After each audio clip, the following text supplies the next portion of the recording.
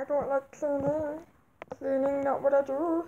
But if I don't clean my room, my mama gonna use Kung Fu.